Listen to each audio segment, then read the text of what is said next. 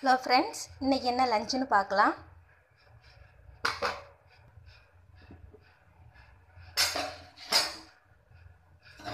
சூடாக சாதம் இருக்குது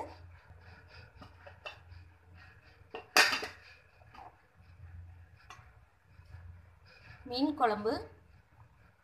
வெள்ளாம்பொடி மீன் குழம்பு. அடுத்து என்னென்னு பார்த்தீங்கன்னா நண்டு குழம்பு.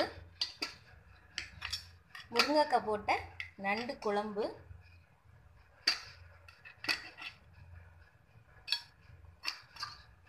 இது வந்து தில்லை நண்டு சம்பா நண்டு கலந்து இருக்குதுல அடுத்து என்னன்னு பார்த்தீங்கன்னா மீன் வறுவல் வெள்ளாம்பொடி மீன் வறுவல். அவ்வளோதான் இன்றைக்கி லஞ்ச்